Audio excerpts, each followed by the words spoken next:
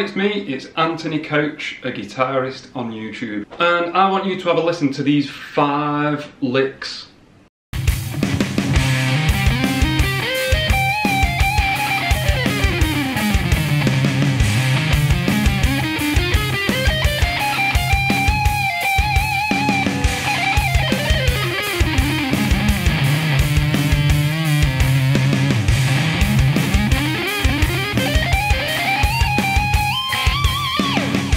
that there, that I've just demonstrated, is quite a simple concept. It doesn't sound so simple. I think it's really effective. It's very versatile. You'll be able to take this knowledge and use it in your own playing with your own ideas. So let's see what's going on.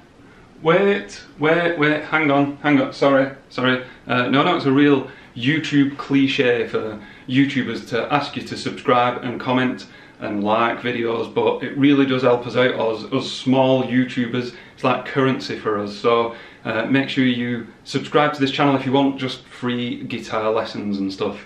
Uh, and comment down below. Let me know what guitar you play, what kind of music you like. Um, it helps me grow the channel and make it a better channel for you. Uh, thank you very much. Sorry for the massive cliche, but I'm going to carry on now. Thanks. So I'll show you the concept first and then I'll show you how I applied it to those five different licks. First of all, we need to know the concept and the concept is simply this. Uh, I'm going to take uh, the first six notes of a C minor pent no, C minor scale. If you don't know that scale, it's fingers 1, 3, 4, then again fingers 1, 3, 4. It's going to look like this on fret 8.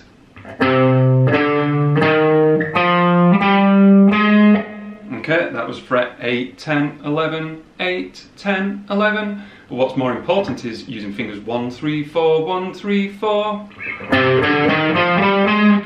Because here's a concept that you may or may not be aware of.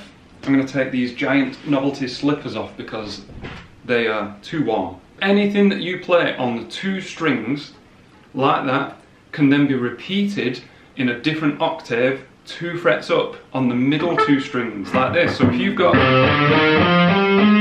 you can then take that same pattern and start it on fret 10. You can even take it further up the guitar up to fret 13 for the next octave. Notice how that isn't just two frets up, it would sound wrong, it'd sound like this. You can hear it sounds wrong, you've got to account for the tuning of a guitar.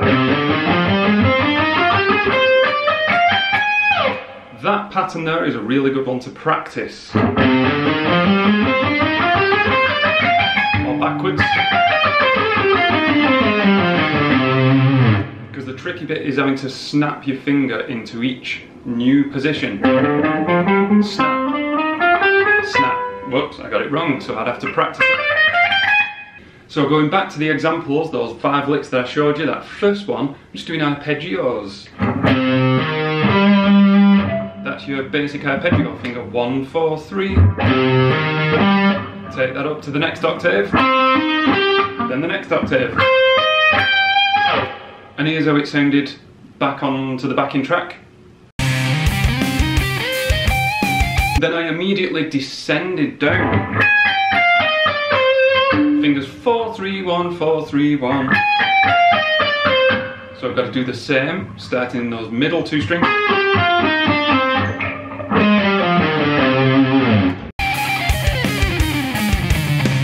So then I could have done the exact same going up the strings like this.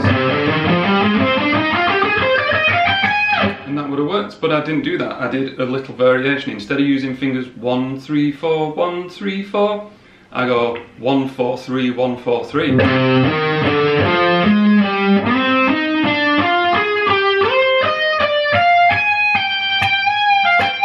With whatever ending I put on it on the back end.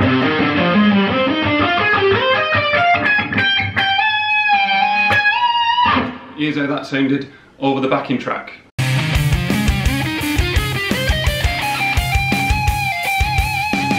And then I completely ripped off Yngwie Malmsteen, uh, again, as I often do, with his pattern where he would play. That's 4 1, 3 4, 3 1. And I take that exact pattern, played on the second string. Then I take it to my middle two strings, then the bottom two. Can take that, build up the speed. And here's how that sounded over the backing.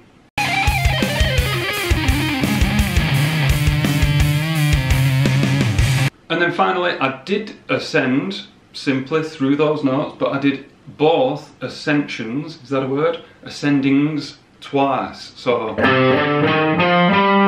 going up, and then again. So all together that's. Then I took that up two frets on the next middle two strings for my next octave.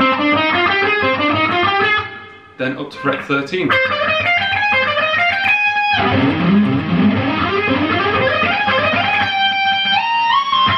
And then put some kind of ending on there. Uh, here's how that sounded over the backing track.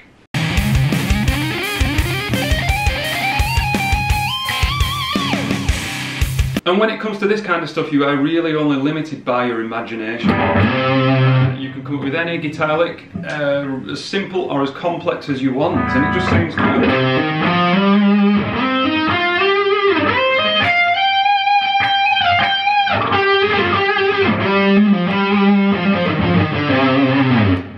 Come up with your own and see how you like it. Don't forget to stop by and comment below. Uh, it's always good when you come and say hello. Let me know what kind of videos you want to see in the future. Maybe a cover. It's been ages since I've done a cover. Give me some cover requests, I might do that. Uh, anyway, I've been Anthony Couch. Thank you very much for watching and I will see you in the next video.